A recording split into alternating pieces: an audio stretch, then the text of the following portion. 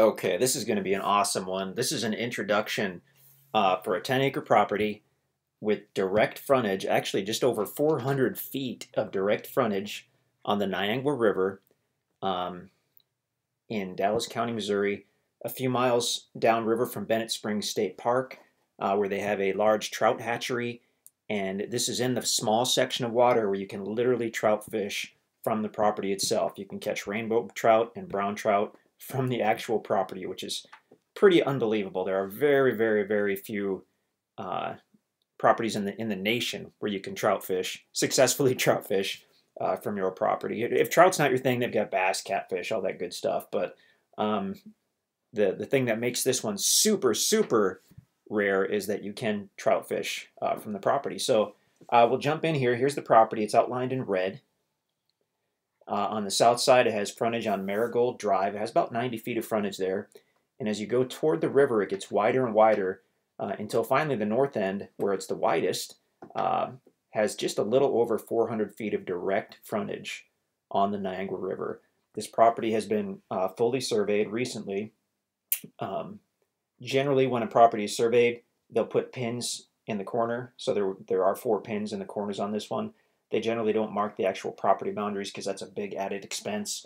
What we did on this tract and uh, the other tracts at Riverside um, at the Niangua was we we paid quite a bit extra to, to have them actually mark um, the full boundaries. So when you go out there, uh, you can uh, literally walk walk the boundaries and you'll see flags and posts and stuff. It's very apparent where the property is. So that's a, a really nice bonus, especially when you go to build or when you go to put up a fence uh, to know precisely where your boundaries are. So super cool.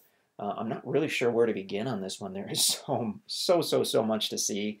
Uh, we try to keep the all the videos short, but this one may end up uh, running a few minutes here. So if you're interested, stick with us and uh, we'll take a look at this property. I think first we'll I think first we'll pan out. We'll go way out. We'll show you uh, kind of the area. Whoops, internet's a little funky today. Uh, so this right here is the Barclay Conservation Area. That's several hundred acres um, conservation area where you can uh, kind of use and enjoy that. I believe it's open for hunting. I'm not positive about that, uh, but it has quite a bit of frontage on the river, and it's got a great spot right here uh, toward the south side where you can put your canoe in or your kayak or your raft or whatever, uh, and you can float directly down to your own property uh, and it's a short little float. It's good uh, for young people and you know old people that, that might not want to, like myself, that might not want a six-hour float. It's probably a I don't know 30, 45 minute float. It's just a, a perfect little float to uh, to do in the afternoon, um, and you've got access to all of this conservation land as well. But we'll go out a little further here. Okay. Whoops. There we go. That's what I wanted. So down toward the bottom of the screen, bottom of the video, uh, this is Bennett Springs State Park. I'm using the MapRight program and I've got the layer turned on to show um, federal and state land. And so that's why that's highlighted. That's why the Barclay Conservation is highlighted um, because those are uh, kind of like public public land deal. So Bennett Springs State Park, um, and within the state park, they have an actual fish, fish hatchery where they um, raise rainbow trout and brown trout, and they stock the Niangua River uh, with those fish. So they, they stock the river here, the fish filter on downriver, and the trout fishing section um, on the Niangua starts at Bennett Spring and it goes downriver past the property to the Prosperine access here. That is the very limited section, excuse me, where you can actually fish for rainbow trout and brown trout. I believe it's called the white ribbon section. I'm not sure exactly what that entails, but I've been told that uh, it's kind of the one of the better uh, um, designations as far as trout fishing. Uh, fewer restrictions, I believe.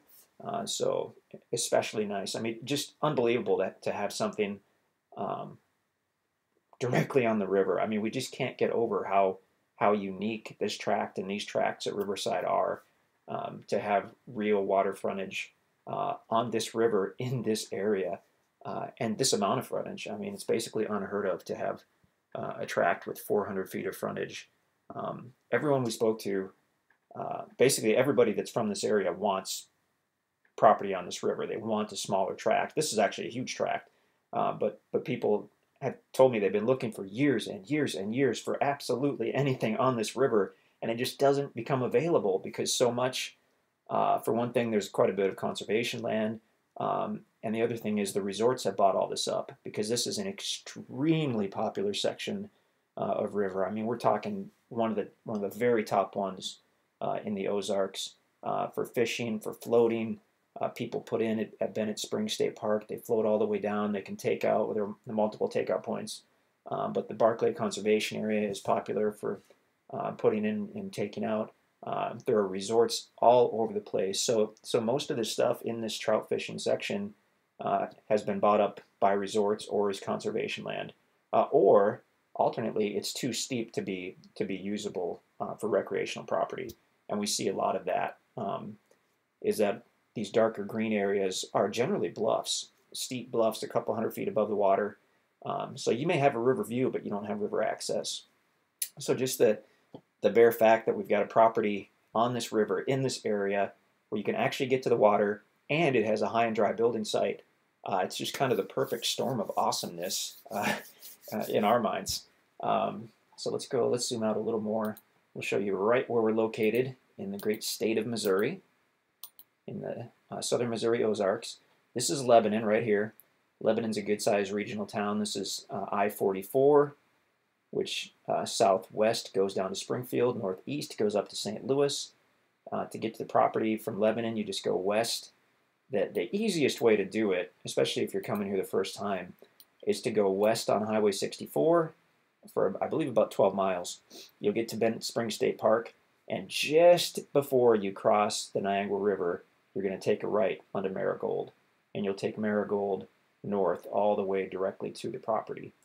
Uh, if you actually cross the bridge over the over the river, then you went about 100 feet too far. Um, now, if you if you uh, are looking for a slightly quicker way, uh, the way we come out of Lebanon, we go west, I believe, on 64, and we cut north on a gravel road somewhere around here, and that shaves a, a few minutes off of it. But um, definitely, probably the first time you get out here, the best way is to take 64 to Bennett Springs and just go north on Marigold, and that goes all the way up to the property. But as long as we're showing the area, there we go. It shows it pretty well. Okay, so just to the north, well, not just to the north, but to the north, um, about 20 miles, you've got the Lake of the Ozarks, very popular. In fact, the Niangua River uh, forms one of the major arms of the Lake of the Ozarks as it flows to the north. Um, to the southwest, about an hour, you've got Springfield. 20 minutes south of Springfield, that's Branson. Um, very popular area uh, for recreation. Uh, it's also just because it's so centrally located. So here's the property. Uh, you go over to I-44 and you probably from Lebanon about uh, two two and a half hours, two hours to St. Louis. Um, if you go to the northwest, uh, you've got Kansas City. So I mean, you've got a lot of, of big cities nearby. Jefferson City to the north, about an hour and a half to the north. Okay. So we're to go back in here. So not too far out of Lebanon, but but just a super uh, area for wildlife. Um, we were just out there yesterday, um, and I pulled in, and I expected to see deer. I did not, and then the guys pulled in about 20 minutes behind me, and they said, "Yeah, we saw like 15 deer uh, right up uh, in the upper field." and then we saw turkeys later on. They actually saw a bald eagle yesterday morning. They were down um, in the lower field and it flew right overhead. And I've seen that bald eagle a couple times, so we, we know it's out there. Okay, Google Map. Um, so again, property outlined in red. Uh, Riverside at the Niangua, it's, it's about 20 tracks. Uh, most of them are these larger tracks, although some are, are smaller as well.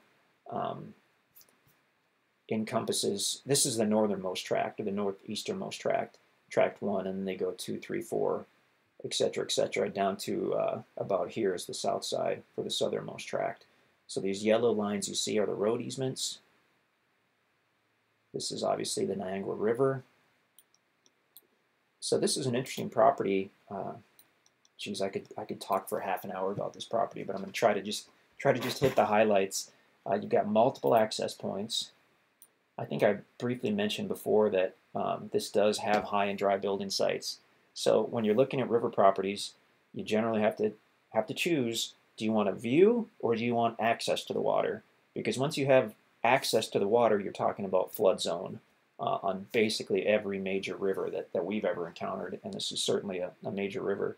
Um, so actually what we can do here, we're using the MapRight program, we've got the full version, and it actually has a layer for flood maps. So this is the FEMA floodplain, if I can get this to, okay, we're going to turn on the floodplain. There we go. Uh, so that shaded area, that's going to be the, the FEMA floodplain, or what a lot of people would call the 100-year flood zone. Uh, obviously adjacent to a river, that's where you have it. Uh, here's the river right here. The reason there's no floodplain uh, as you go north from the river is because that's a bluff. That's about a 200-foot straight drop bluff. Um, and as you, well, you can see right here, there's a house there, there's a, a house over, over here, um, those people are building up there to get the view, but they have no earthly way to get to the water uh, because it's more or less straight down.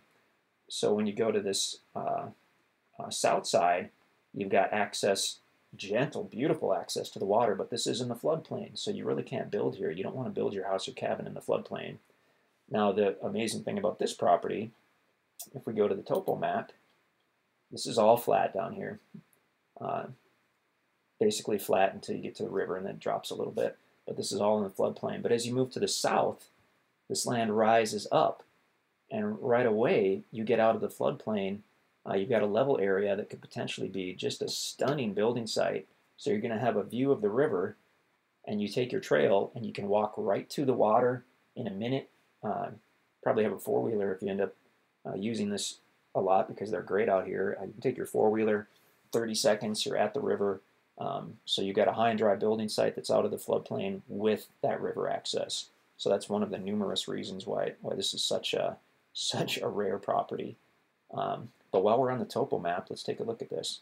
So it's the highest on the south side here uh, by Marigold Drive. Uh, on topo maps, basically the uh, the lines indicate elevation changes. So from line to line on this map is an elevation change of 20 feet the darker, every fifth line is darker because that's that's just a 100 foot interval. So there's nothing special about it. It's just showing a 100 foot interval. Um, so on this property, we're the highest on the south side. As we move to the north, we've actually got a little valley right here that goes down and back up again. And then as we continue north, uh, we have a, a more gentle valley. And then this is all one, basically one large ridge. If you kind of um, look at the way the topo map is laid out um, get down to about here. And I think we have this in the ground video uh, because we I, I knew on the topo map that this looked like a good site, but I didn't know if there was access to it.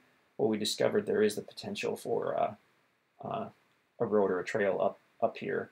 Um, come off the road, walk up this way to your your private site that's out of the flood zone. Um, so also, speaking of access, so obviously we've mentioned you have direct access on Marigold on the south side. There is no uh, approach, there's no culvert there. Uh, you could certainly install one. It's a couple feet, two or three feet um, above the road, the property is. Uh, so you'd be looking at probably half a day's worth of, of work with a, a skid loader, um, plus the, the price of the culvert, which is 300 bucks, I believe.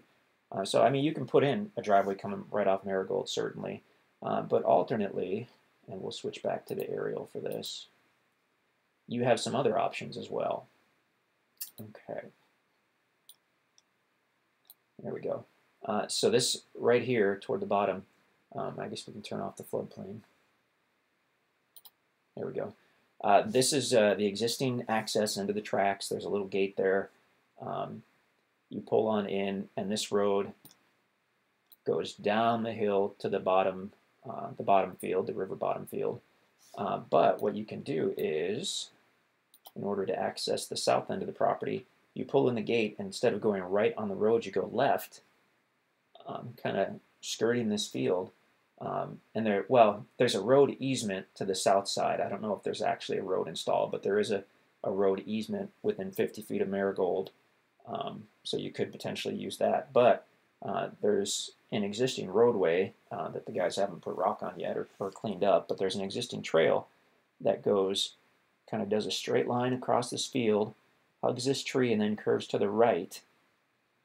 And it goes back through the tree line uh, to the actual property. So that's a, a deeded easement um, it's a, a pretty good way to get toward the get onto the south side of the property without having to mess with an approach. And also as a bonus, um, you don't have to then cross uh, this this valley area here.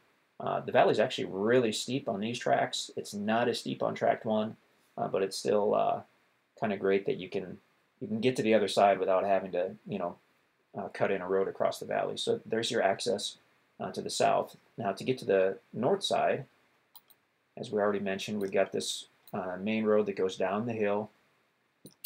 Get to the bottom and it, you come to a Y where you're going to take a right and head on down through the, the beautiful bottom field. I mean, it's gorgeous. You're going to love it down there. And it goes northerly all the way up to tract one.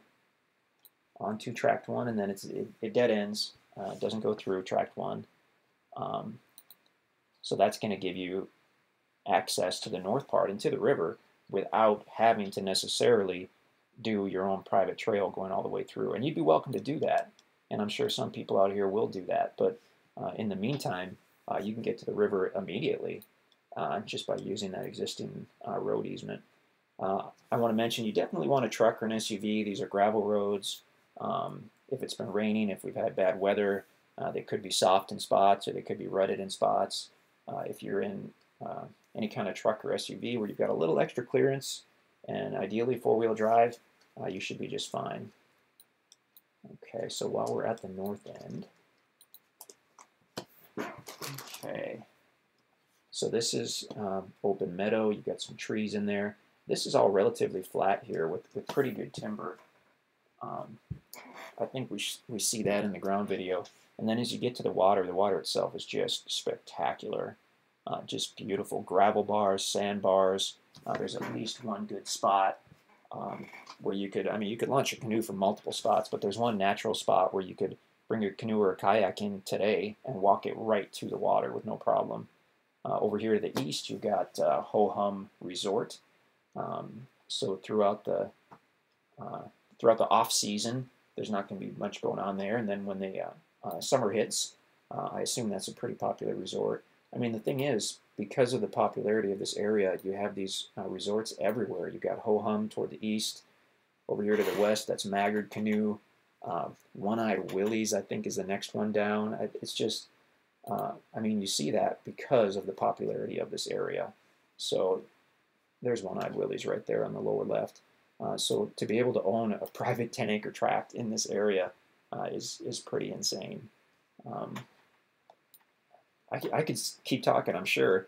Uh, I'm going to try to cut it off. I know the track does look uh, long and thin, and it is long, but I don't know if I'd call it thin. Even here on the south side, it's 90 feet uh, across, and then it, it, it, widens as you move toward the river. So if we use the measurement tool here uh, at about the middle of the property, oops, a little over 200 feet wide, and then as you get down toward uh, one of the potential building sites, what what we believe would be one of the great potential building sites. Uh, you're looking at, whoops, over 300 feet across. Uh, so, I mean, plenty wide to do what you want, to build any type of house or cabin that you want. Uh, we've got some basic property covenants on these tracts. Uh, you can check those out on the website. Um, just to, to keep the area looking great and keep everybody's property value high, we do have the some property covenants in place. Um, but yeah, we definitely love to talk to you about this. Uh, if you want to see if it's available, you just need to go to instantacres.com. Uh, that's where we show all the available properties. If you have any questions, uh, you can give us a call or you can send us an email at sales at instantacres.com. We'd be thrilled to talk to you um, about this property or any of our properties. instantacres.com.